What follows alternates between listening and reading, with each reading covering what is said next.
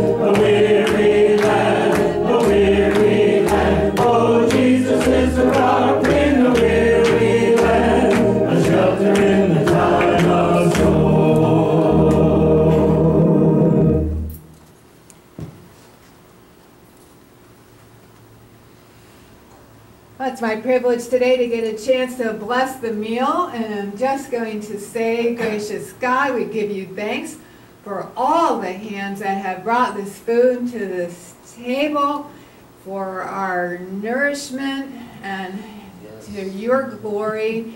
And boy, are we grateful also for the time that we get to spend together. Yes. And so we praise you and we thank you, and we ask us to send we ask you to send us out, not only with full bellies, but with uplifted spirits as well.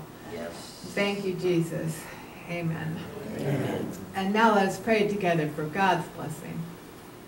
May the God of hope fill us with all joy and peace in believing through Jesus, the Messiah, and by the awesome and amazing power of the Holy Spirit.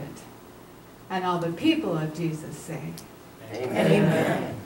Oh, Jesus, it's a rock and